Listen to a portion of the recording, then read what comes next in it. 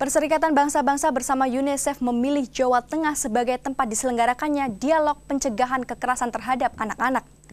Hal ini karena Pemprov Jateng dinilai memiliki komitmen penuh dalam hal perlindungan anak.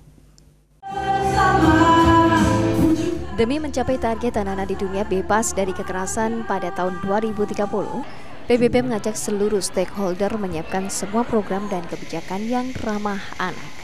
Wakil khusus Sekjen PBB Bidang Perlindungan Anak Najat Ma'ala Makjid menilai Jawa Tengah memiliki konsen yang tinggi terhadap upaya perlindungan anak, termasuk menjunjung tinggi keberagaman dan toleransi. Dalam dialog yang diikuti oleh komunitas peduli anak jalanan, disabilitas, dan siswa sekolah, Gubernur Jawa Tengah Ganjar Pranowo mengajak berdialog terkait perundungan yang pernah dialami. Kamu kelas berapa? Kelas 9. Kelas 9. Pernah kamu lihat nggak apa tuh bullying di yang terjadi ke kamu? Ya kayak ejek-ejekan sama orang tua.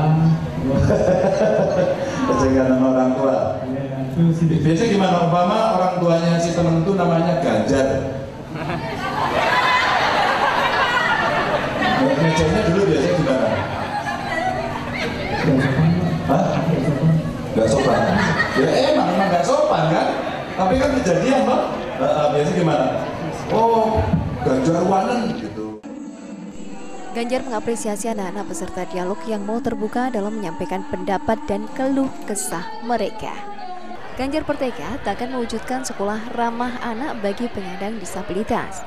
Untuk itu, pihaknya telah bekerja sama dengan UNS untuk menyediakan guru yang ramah difabel. Kemarin saya ketemu dengan rektor UNS itu karena UNS juga salah satu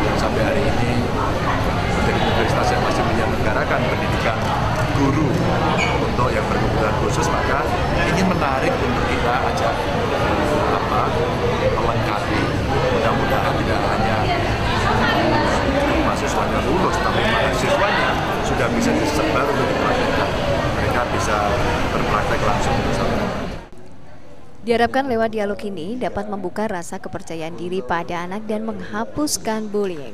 Keakraban terlihat saat Ganjar bersama Nana bernyanyi dan berfoto bersama. Astika Daniar, Kompas TV, Semarang, Jawa Tengah.